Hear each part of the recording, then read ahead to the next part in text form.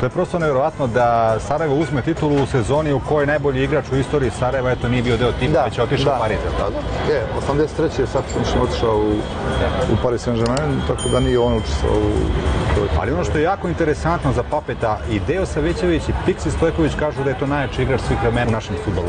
Kada pogledate sad te njegove isečke sa ovih njegovih utakmica i reprezentacije i njegovih golova i njegovih njegovih ovaj, lucidnih poteza, mislim, mi- ja, ja, ja isto dijelim to, ja isto dijelim to mišljenje, isto dijelim to mišljenje, ovaj, i ovdje, uvijek u, ra- u razgovoru sa nekim svojim kolegama, ali kad se, kad se dotaknemo futbala pa pričamo tako, eto, i onda i, on, i njih interesuje ko je to možda bio, ko je to, s kim si, koji ti je bio najbolji igrač, s kim si igrao i tako dalje, tako dalje. Tako da mislim da je sad Dovoljno je pustiti snimak, recimo utakmice sa Argentinom. da, da, oni gola. tri pa sa Rumunijom, pa šta znam. Sa Italijom. Da, Italijom, tako da im bilo je, bilo je ti jako puno.